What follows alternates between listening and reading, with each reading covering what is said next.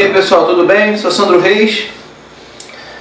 Essa música é a música Time do Pink Floyd, que eu não sei tocar, o solo dela. Mas por que, eu escolhi essa música?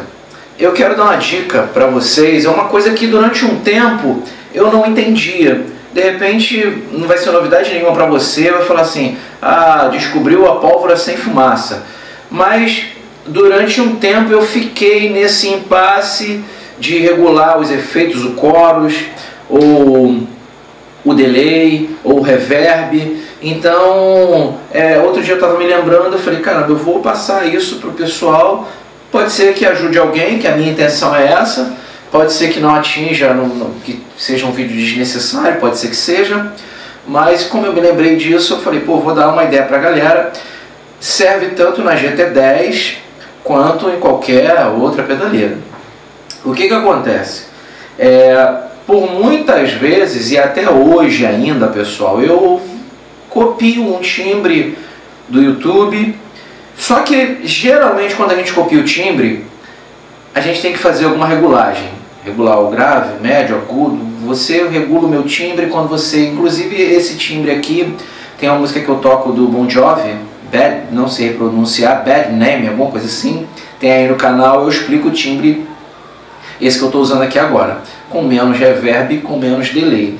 Então o que, que acontece? É, muitas vezes eu, eu, pego o timbre e quando eu vou tocar no meu equipamento eu vejo que está diferente, precisa de mais grave, mais médio, menos agudo, menos drive, mais não sei o que. E aí a gente vai chegando ali para ficar do nosso gosto.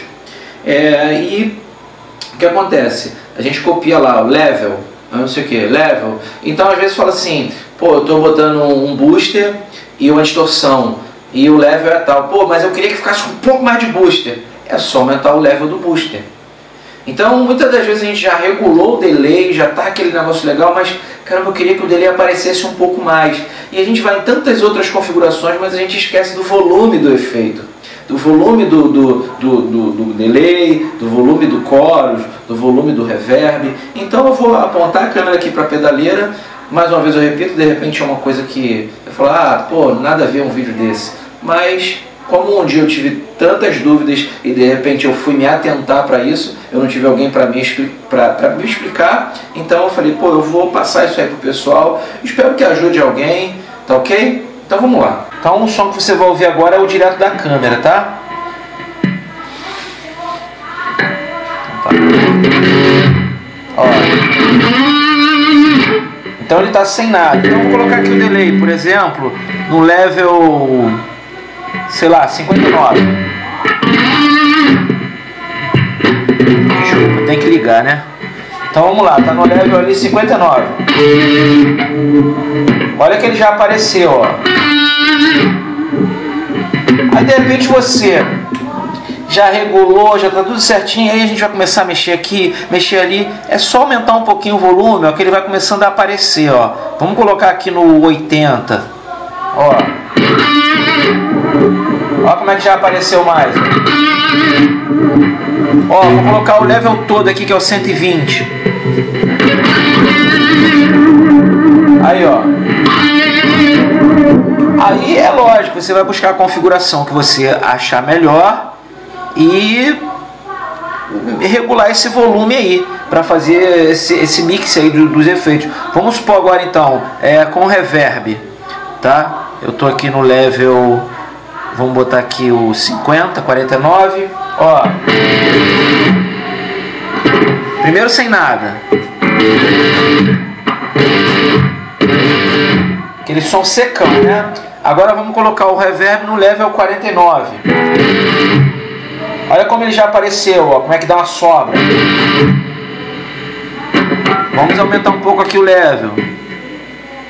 Vamos botar aqui perto do 80. 80. Olha como é que ficou a sobra enorme agora. Vou aumentar ele todo. Olha só a luz reverb. Colocar o reverb e o delay agora, todo, todo no, no máximo. Olha que bagunça.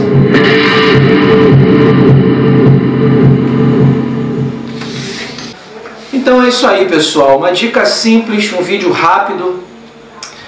Eu, eu aconselho a você ter isso na mão também, essa coisa dessa regulagem. Por exemplo, você vai tocar num, num ar livre, então você regulou teu reverb lá, beleza.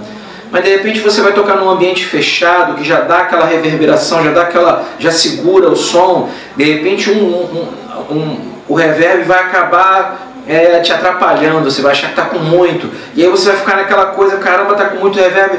É só ir lá tirar um pouquinho do volume, sabe? Que vai estar tá resolvendo isso daí. É uma coisa que eu não sabia no início, é uma coisa que depois que eu me liguei nisso, que me ajudou mais, que eu consegui me entender melhor com, com os timbres. Isso vale para qualquer efeito. Às vezes você está misturando é uma simulação de um overdrive com uma simulação do amplificador, você consegue dar um booster maior, um booster menor, enfim, isso aí vale para qualquer efeito. Às vezes você já chegou na regulagem, já chegou no, na, na, na, batida, por exemplo, o ritmo do delay que você quer, e aí você acaba mexendo em feedback, não sei o que e tal, e às vezes é só ele dar uma ajustadinha no volume e vai resolver a tua vida. Tá bom, pessoal? Espero que vocês tenham curtido, espero que vocês tenham gostado do vídeo. No mais, fiquem com Deus. Dá uma curtida na minha página no Facebook, eu vou deixar o link aqui na descrição, tá ok? Se inscreve no canal. Não esquece, pessoal, quando você se inscrever no canal, tem um sininho ali do lado. Você tem que dar uma clicada ali e ele fica tipo com uma aspazinha assim, um parênteses em cima do sininho. Aquilo ali você ativou as notificações. E aí quando você, quando eu postar um vídeo aqui, você já vai receber a notificação em que eu acabei de postar o vídeo. Tá ok? Um abraço, Deus abençoe, fique com Deus.